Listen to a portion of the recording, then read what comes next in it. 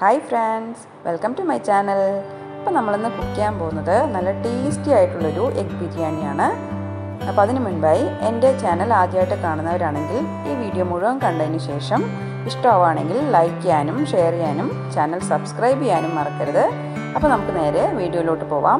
ഇത് വളരെ ഈസിയായി കുക്ക് ചെയ്തെടുക്കാവുന്നൊരു ബിരിയാണിയാണ്. നമ്മളിത് കുക്കറിലാണ് കുക്ക് ചെയ്യാനായിട്ട് പോകുന്നത്. അതിനുള്ള ഇൻഗ്രീഡിയൻസ് നോക്കാം. ഞാനിവിടെ രണ്ട് കപ്പ് ജീരകശാല അരിയാണ് എടുത്തിരിക്കുന്നത്. അപ്പോൾ നമ്മളിതൊരു നാല് കപ്പ് വെള്ളത്തിൽ വേണം വേവിച്ചെടുക്കാനായിട്ട്. പ്രഷർ കുക്കറിൽ വേവിക്കുന്ന സമയത്ത് ഇനി ഇതിനുള്ള ഇൻഗ്രീഡിയൻസ് നോക്കാം. സവാള വളരെ ചെറിയതാക്കി അരിഞ്ഞെടുത്തതാണിത്. രണ്ട് വലിയ സവാള തക്കാളി ഒരു വലിയ തക്കാളി ചെറിയ കഷ്ണമാക്കി അരിഞ്ഞെടുത്തതാണിത്. ഇനി ഇതിലേക്കായിട്ടുള്ള മസാലകൾ നോക്കാം. ബേ ലീഫ് പട്ട പെരിഞ്ചീരകം ഏലക്കായ കുരുമുളക് ഗ്രാമ്പു എന്നിവയാണിത്. തക്കോലം.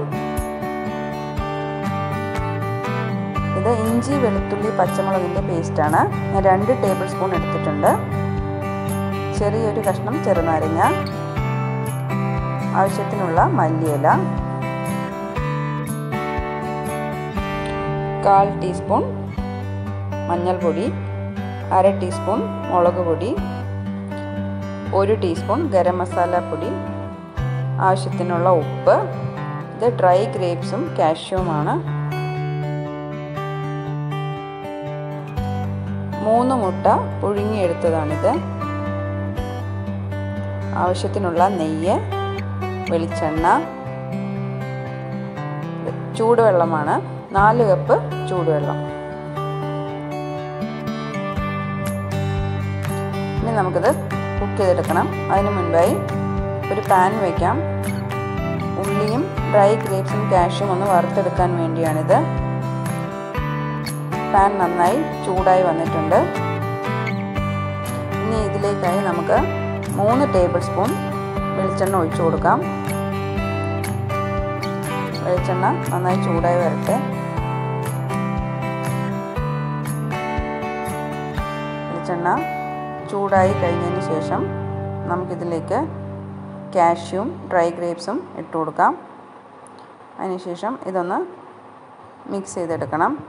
ഇതിന്റെ കളറൊന്ന് മാറി വരുന്നത് വരെ ഒന്ന് മിക്സ് ചെയ്ത് കൊടുക്കാം. അപ്പോൾ നന്നായി കളറെല്ലാം മാറി വന്നിട്ടുണ്ട്. നന്നായി ഫ്രൈ ആയി വന്നിട്ടുണ്ട്. ഇനി നമുക്കിത് മാറ്റി വയ്ക്കാം. ഇനി ഇതേ എണ്ണയിൽ തന്നെ നമുക്ക് ഉള്ളി കൂടി വറുത്തെടുക്കണം. അതിന് വേണ്ടി കുറച്ച് ഉള്ളി നമുക്ക് ഇട്ട് കൊടുക്കാം. ശേഷം നന്നായിട്ടൊന്ന് ഇളക്കി കൊടുക്കാം. ഇത് നല്ലൊരു ബ്രൗൺ കളർ ആവുന്നത് വരെ നമുക്ക് ഇളക്കിയെടുക്കണം. ഇപ്പോൾ നമ്മുടെ ഉള്ളി നന്നായി ബ്രൗൺ കളറായി മുരിഞ്ഞു വന്നിട്ടുണ്ട്. ഇനി നമുക്ക് ഇത് മാറ്റി വയ്ക്കാം. ഇനി നമുക്ക് കുക്കർ വെച്ച് കൊടുക്കാം. നമ്മൾ കുക്കറിലാണ് ബിരിയാണി ഉണ്ടാക്കിയെടുക്കുന്നത്. കുക്കർ നന്നായി ചൂടായതിനു ശേഷം നമ്മളിതിലേക്ക് ആവശ്യത്തിനുള്ള വെളിച്ചെണ്ണ ഒഴിച്ച് കൊടുക്കണം. ഇപ്പോൾ കുക്കർ നന്നായി ചൂടായി വന്നിട്ടുണ്ട്. ഇനി വെളിച്ചെണ്ണ ഒഴിച്ചു കൊടുക്കാം. ഞാനിവിടെ രണ്ട് ടേബിൾ സ്പൂൺ എണ്ണയാണ് ഒഴിച്ചു കൊടുക്കുന്നത്. അതിനുശേഷം നമുക്ക് സ്പൈസസ് എല്ലാം ഇട്ട് കൊടുക്കാം. നന്നായിട്ടൊന്ന് മിക്സ് ചെയ്തെടുക്കണം.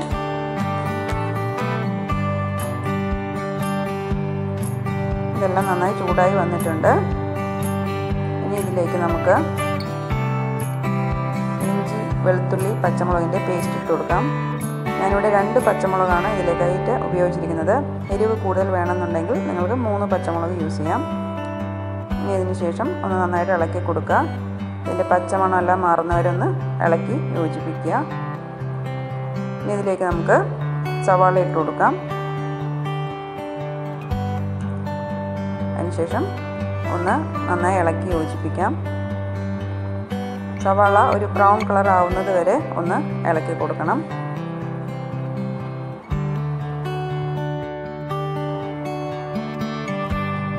ഇപ്പോൾ നമ്മളുടെ സവാള ഏകദേശം ലൈറ്റ് ബ്രൗൺ ആയി വന്നിട്ടുണ്ട്. ഒന്നുകൂടി ഇളക്കി കൊടുക്കാം.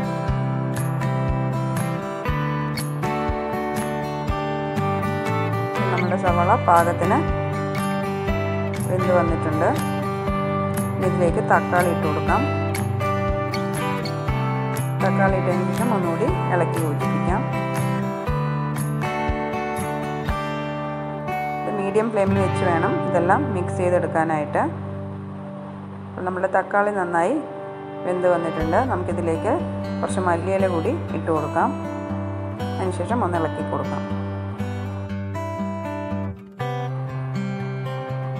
ഇത് തക്കാളി ഒന്ന് ഒന്നുകൂടി വെന്ത് വരാനായി നമുക്കൊന്ന് ഇളക്കി യോജിപ്പിക്കാം. അതിനുശേഷം നമുക്ക് പൊടികൾ ആഡ് ചെയ്ത് കൊടുക്കാം. മഞ്ഞൾപ്പൊടി മുളക് പൊടി ഗരം മസാല പൗഡർ അതിനുശേഷം ഇതെല്ലാം കൂടി ഒന്ന് മിക്സ് ചെയ്തെടുക്കാം. ഈ പൊടികളുടെ പച്ചമണം മാറുന്നവരൊന്ന് മിക്സ് ചെയ്ത് കൊടുക്കാം. അതിനുശേഷം നമുക്കിതിലേക്ക് ഒരു ടീസ്പൂൺ ചെറുനാരങ്ങ നീര് ഒഴിച്ചു കൊടുക്കാം. അതിനുശേഷം ഒന്നുകൂടി ഇളക്കിയെടുക്കാം. മസാലകളെല്ലാം നന്നായി പിടിച്ചിട്ടുണ്ട്. ഇനി നമുക്കിതിലേക്ക് അരി ചേർത്ത് കൊടുക്കാം. രണ്ട് കപ്പ് ജീരകശാല അരിയാണിത്.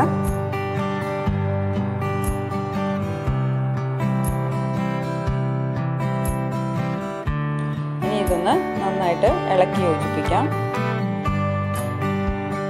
മസാലയെല്ലാം അരിയിൽ നന്നായിട്ട് പിടിച്ചിട്ടുണ്ട്. ഇനി നമുക്കിതിലേക്ക് ആവശ്യത്തിനുള്ള ഉപ്പ് കൂടി ഇട്ട് കൊടുക്കാം. ഞാനിവിടെ ഒന്നര ടീസ്പൂൺ ഉപ്പാണ് ഇട്ട് കൊടുക്കുന്നത്. അതിനുശേഷം ഒന്നുകൂടി ഇളക്കി യോജിപ്പിക്കാം. ഇനി ഇതിലേക്ക് നമുക്ക് രണ്ട് ടീസ്പൂൺ നെയ്യ് ആഡ് ചെയ്ത് കൊടുക്കാം. നെയ്യ് ഇട്ടതിന് ശേഷം അരിയിലെല്ലാം നെയ്യ് നന്നായി പിടിക്കുന്നവരെ ഒന്ന് ഇളക്കി യോജിപ്പിച്ച് കൊടുക്കണം.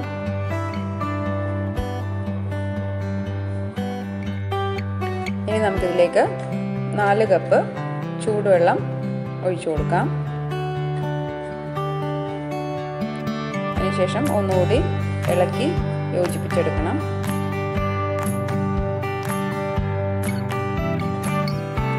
ഇനി നമുക്ക് ഇത് അടച്ചു വെച്ച് കുക്കറിൽ ഒരു വിസിൽ വരുന്നവരെ വേവിച്ചെടുക്കാം. ഇപ്പോൾ ഒരു വിസിൽ വന്നിട്ടുണ്ട്. പ്രഷറെല്ലാം നന്നായിട്ട് പോയിട്ടുണ്ട്. നമുക്കിനി ഇത് തുറന്ന് നോക്കാം. നമ്മളുടെ ബിരിയാണി ഇവിടെ റെഡിയായി വന്നിട്ടുണ്ട്. അരിയെല്ലാം കറക്റ്റായി പാകത്തിന് വെന്ത് വന്നിട്ടുണ്ട്. ഇനി നമുക്കിതിലേക്ക് നേരത്തെ വറുത്ത് വെച്ചിരിക്കുന്ന സവാളയും ഡ്രൈ ഗ്രേപ്സും കാഷ്യൂം എല്ലാം ഒന്ന് ഇട്ട് കൊടുക്കാം.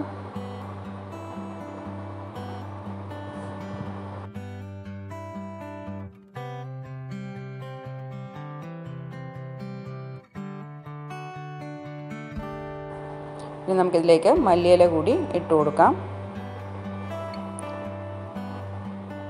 ഇനി ഇതിലേക്ക് നമുക്ക് പുഴുങ്ങിയ മുട്ട വെച്ച് കൊടുക്കാം. അപ്പം നമ്മളുടെ ബിരിയാണി ഇവിടെ റെഡിയായി വന്നിട്ടുണ്ട്. ഇനി നമുക്കിതൊരു സെർവിങ് പ്ലേറ്റിലോട്ട് മാറ്റാം. നമ്മളുടെ ടേസ്റ്റി ആയിട്ടുള്ള എഗ് ബിരിയാണി ഇവിടെ റെഡിയായി വന്നിട്ടുണ്ട്. അപ്പോൾ തീർച്ചയായും എല്ലാവരും ട്രൈ ചെയ്ത് നോക്കണം. വീഡിയോ ഇഷ്ടമായാൽ ലൈക്ക് ചെയ്യാനും ഷെയർ ചെയ്യാനും ചാനൽ സബ്സ്ക്രൈബ് ചെയ്യാനും മറക്കരുത്. അപ്പോൾ നമുക്ക് പുതിയൊരു വീഡിയോയുമായി വീണ്ടും വരാം. അതുവരേക്കും താങ്ക് യു ബൈ ബൈ